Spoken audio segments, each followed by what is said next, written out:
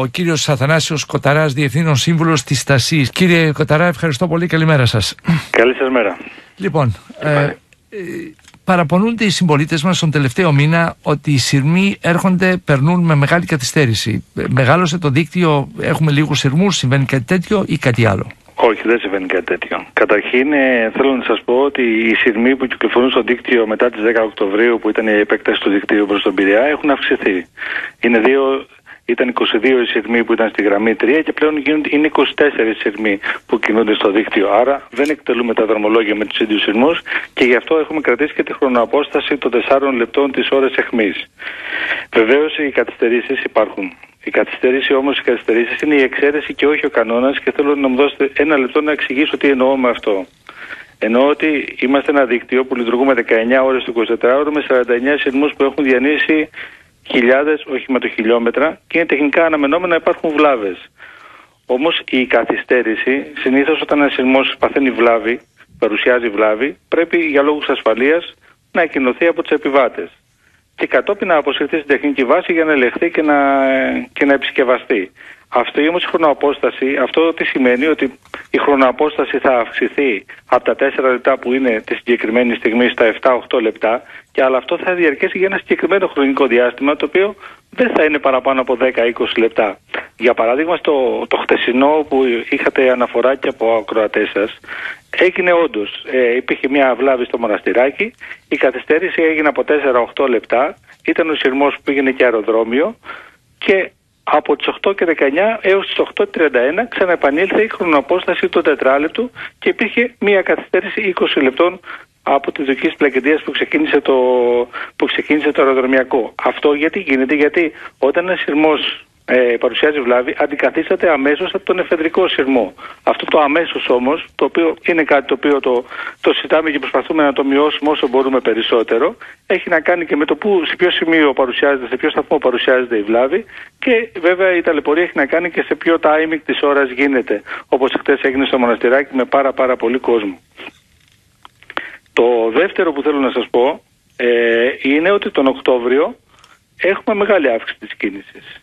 Όντως, έχουμε μια αύξηση που ήταν μη αναμενόμενη. Μόνο θα σας πω στα έσοδά μας τον Οκτώβριο έχουμε μια αύξηση εσόδων πάνω από 12%. Ε, αυτό συντέλεσαν δύο γεγονότα κατά πάσα πιθανότητα. Το ένα είναι η επέκταση προς τον Πειραιά και το άνοιγμα των τριών νέων σταθμών που φαίνεται να μας έχει προσθέσει γύρω στους 40 με 50.000 επιβάτες καθημερινά. Και το δεύτερο είναι η εφαρμογή του δακτυλίου στο κέντρο της Αθήνας. Πάντως, ε, αυτό ήθελα να σας εξηγήσω ότι κάθε βλάβη που γίνεται στο σειρμό, επειδή στη, στη γραμμή 2 και 3 στο μετρό υπάρχει διαθεσιμότητα σειρμών, όταν ένα σειρμός παρουσιάζει βλάβη, η, έχει να κάνει με την απόσυρση του σειρμού και με το να μπει ο εφεδρικός σειρμός. Βεβαίως υπάρχουν ναι. και δύο-τρία θέματα. Όταν ο σειρμός ακινητοποιείται, ναι, εκεί η ταλαιπωρία είναι πολύ μεγαλύτερη, ίσως να πάρει και μία και δύο ώρες που θα καταφέρουμε να βγάλουμε το σειρμό για το λόγο της ακινητοποίησης εκτός δικτύου και εκεί βεβαίως ε, ε, έχουμε, ε, μπορεί να έχει μεγαλύτερη, ήταν δύο γεγονότα που συνέβησαν αυτά τον Οκτώβριο, όντως. Ε, θα ε, ταλαιπωρούμε περισσότερο, ταλαιπωρούμε αρκετά τους επιβάτες.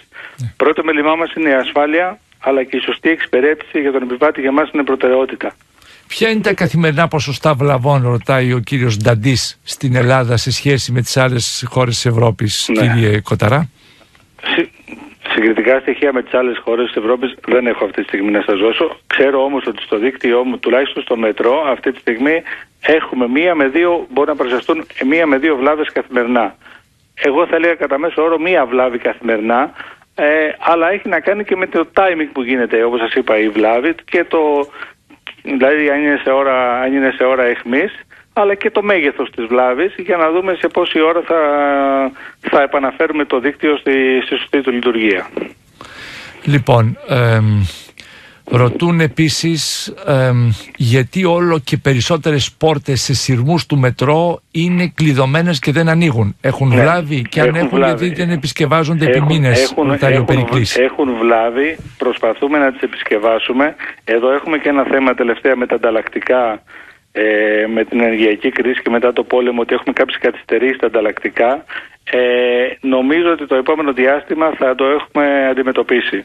Όπως ε, έχουμε ένα προγραμματισμό ανατάξεων σειρμών, ε, δηλαδή που θα, μέσα στο Νοέμβριο θα έχουμε και δύο ακόμα έξτρα σειρμούς οπότε θα, θα μπορούμε να αντιμετωπίζουμε και καλύτερα τις όποιες βλάβες ε, παρουσιάζονται. Ο Κωστής είναι οδηγός και ρωτάει εφεδρικούς σειρμούς για περιπτώσεις βλαβών έχουμε; Έχουμε εφεδρικούς σειρμούς. Σε κάθε γραμμή στη 2 και στην 3 υπάρχουν καθημερινά 2 με 3 εφεδρικούς σειρμούς. Μάλιστα. Τώρα, Αλλά η, η ναι. καθυστέρηση έχει να κάνει με το πού βρίσκεται ο εφεδρικό, πού έγινε η βλάβη και σε ποιο κύκλο της διαδρομής θα μπει ο εφεδρικό μέσα. Γι' αυτό και λέω ότι η καθυστέρηση είναι από 4 λεπτά θα αυξηθεί, ναι, μεν η χωραπόσταση σε 7-8 λεπτά, αν είναι μια απλή βλάβη που μπορεί ο σειρμό να βγει έξω μόνος, αλλά θα είναι και για ένα συγκεκριμένο χρονικό διάστημα των 20 λεπτών. Ναι. Maximum άντε 30. Ναι. Όχι παραπάνω μέσα, στο, μέσα στο, στον κύκλο των δρομολογίων. Η Θεοδόρα είναι με το επώνυμό της η κυρία, θα το πω φωναχτά. Ε, στέλνει φωτογραφίες από εσωτερικό σειρμών του ΙΣΑΠ.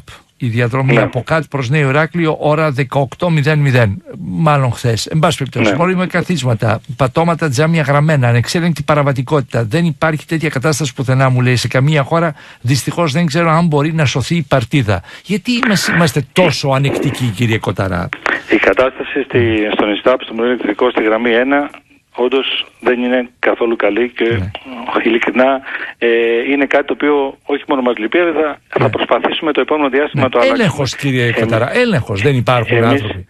Υπάρχουν έλεγχοι, υπάρχουν παραβατικές συμπεριφορές, ναι. γίνονται και συλλήψεις. Έχουμε όμως πάρα πολλούς βανταλισμού στη γραμμή 1. Έχουμε βανταλισμού μετά από αγώνες. Έχουμε βανταλισμού που γίνονται όταν τα τέρματα περνάνε α, με πέτρες στο εξωτερικό, που το, λόγο το, το δίκτυο είναι εξωτερικό. Έχουμε αρκετά προβλήματα. Ε, γίνονται και συλλήψεις. Υπάρχει και αστυνομία. Είμαστε σε μια συνεργασία με την αστυνομία. Υπάρχει το σώμα της Αριάδνης, το οποίο είναι, ασχολείται με το μετρό και το ηλεκτρικό, με τη, με τη φύλαξη του μετρό και το, το ηλεκτρικό. Ναι. Χθες είχαμε μάλιστα μια συνάντηση στη Γενική Αστυνομική Διεύθυνση Αττικής. Ναι. Ζητήσαμε την ενίσχυση του σώματος. Να σας πω, κύριε Κοταρά, ναι. φέρτε κάποιον από, την, από, τα, από χώρες όπως Αυστρία, Γερμανία, να δείξουν πώς γίνεται εκεί. Να εκπαιδεύσουν εδώ τους δικούς μας. Ναι, Πάμε να φέρουμε θα... κάποιους ανθρώπους. Δεν θα ανακαλύψουμε τον τροχό. Α φέρουμε από την Ολλανδία. Να φέρουμε. Σχετικά με την, ε, με τη φύλαξη. Με, τη φύλαξη. Με, τη φύλαξη. Ναι. Θα, θα, το κάνουμε για αυτό και ε, ψάχνουμε να βρούμε και νέους τρόπους φύλαξης ναι. για να μειώσουμε τα θέματα της εγκληματικότητας και της παραβατικότητας που έχουμε ε, στους ναι. σειρμούς μας. Αυτό όμως που θέλω επίσης να σε ενημερώσω ότι στη γραμμή 1 Ολοκληρώθηκε η διαγωνιστική διαδικασία της αναβάση των σεισμών. Χθε, μάλιστα, ήταν στην Επιτροπή της Βουλής η τελική ενημέρωση και θα προχωρήσουμε τις επόμενες μέρες στην υπογραφή της σύμβασης. Θα ανακαινήσουμε και θα αναβαθμίσουμε 14 σεισμούς στη γραμμή 1 ε, υπογράφοντας σύμβαση μέσα στις επόμενες μέρες, όπως σας είπα, ναι. που είναι πάρα πολύ σημαντικό και θα αλλάξει τελείως την εικόνα της ΕΝΑ. Εκτός από αυτό όμως, ναι, ετοιμα, ε, ναι. ετοιμάζουμε και ένα πλαίσιο ενεργειών για την ΕΝΑ, το οποίο όποτε θέλετε μπορούμε να το συζητήσουμε. Βεβαίως, θα σα φιλοξενήσω εκ νέου. Ευχαριστώ πάρα πολύ. Καλημέρα σας, κύριε Κοταρά. Καλημέρα σας. Ήταν ο Διευθύνων Σύμβουλος της εταιρείας Στασί.